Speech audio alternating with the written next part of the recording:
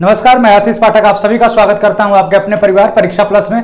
जैसा आप लोगों को मैंने बताया था, हम लोगों ने आकर कि हम लोग भर्ती बोर्ड गए थे और वहाँ पर जाने के बाद डीजी सर से हमने बात किया था कि कब एएसआई के बच्चे भी थे साथ में, कि टाइपिंग कब होगी इनकी। क्योंकि पहले एक नोटिस निकाला गया था कि सेकेंड वीक ऑफ़ जो है आपका अगस्त में टाइपिंग होगा, लेकिन काफ़ी लेट हो गया। बच्चों में जो है ये था कि कब होगा होगा भी कि नहीं होगा।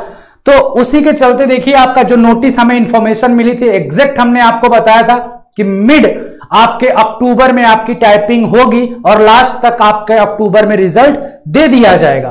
तो देखिए उसी आपके सापेक्ष में यहाँ पर आज ही के दिन ये नोटिस निकाली गई है भर्ती बोर्ड के द्वारा और यहाँ पे साफ़ साफ़ आप देख रहे होंगे कि यहाँ पर दिखा है कि अभ्यर्थियों को कंप्यूटर टंकर परीक्षा जनपद लखनऊ के परीक्षा केंद्र पर दिनांक 18 दस 2022 से आयोजित किया जाना प्रस्तावित है। मतलब डेट दे दिया है इस बार।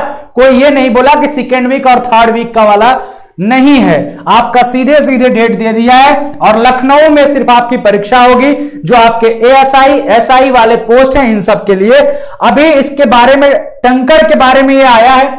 अभी आपके जो एक तरह से बोला जाए कि स्टेनो के बारे में नहीं यहाँ पर ज़िक्र किया है। चलो देख लेते हैं आगे कि क्या है। यहाँ पे बोला है कि जो प्रवेश पत्र है, वे वेबसाइट पर तीन दिवस पूर्व जो है आपका उपलब्ध हो जाएगा।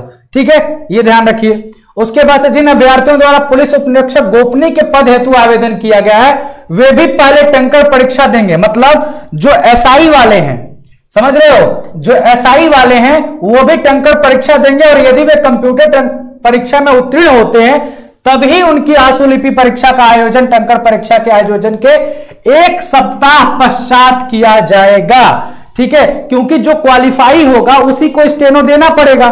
तो ज़ाहिर सी बात है, जितने लोग क्वालिफाई होंगे और जिन्होंने प्रेफरेंस भरा है, उन्हीं का जो है एक सप्ताह के पश्चात जो है, एक वीक बाद आपका क्या हो जाएगा?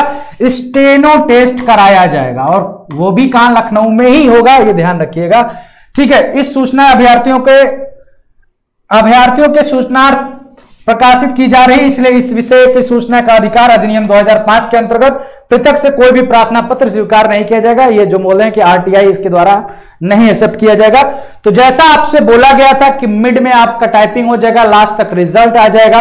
क्योंकि आपका जो एक सप्ताह बाद स्टेनो भी आ जाएगा तो ये पूरा का पूरा रिज़ल्ट ये लोग दे देंगे टाइपिंग के बाद। फिर उसके बाद अगर सीट खाली होती है सपोज़ करो स्टेनो में तो फिर से बच्चों को बुलाया जाएगा। इसके बाद कोई भी अगर हमें अतिरिक्त सूचना मिलती है भर्ती बोर्ड के द्वारा, नई भर्ती से लेकर तो हम ज़रूर आपके सामने आएँगे। इसी के साथ मैं आप सभी से विदा लेता हूँ। आप सभी का बहुत बहुत धन्यवाद।